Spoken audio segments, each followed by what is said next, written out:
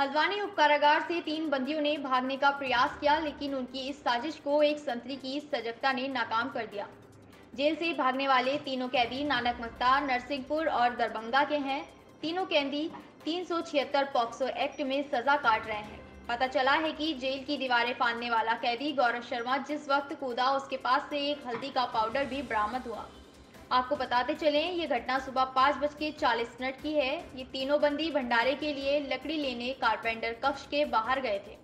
इसी दौरान तीनों लकड़ियों के ढेर पर चढ़कर भागने की फिराक में थे। उन्हें जेल के कर्मचारी ने भागने से पहले ही दबोच लिया। बंदियों की साजिश को नाकाम करने पर जेल आईजी ने जेल अधीक्षक और कर्मचारी की सराहना की। इधर कैदी को पकड़ने वाले संतरी सुनील दत्त शर्मा को पुरस्कार देने की घोषणा की जबकि ड्यूटी पर देर से आने वाले योगेश पांडे को नोटिस जारी किया गया। सर हल्द्वानी जेल में। आज सुबह जेल खुलते ही ये घटना हुई क्योंकि जिस जगह से वो छत पे चढ़े थे वहाँ जिस सिपाही की ड्यूटी थी वो आने में थोड़ा उसे विलम्ब हुआ जिस कारण बंदियों को मौका मिला और वो दो लोग छत पे चढ़ने पे सफल हुए। एक आदमी हैंडल टूटने की वजह से नीचे अंदर ही गिर गया।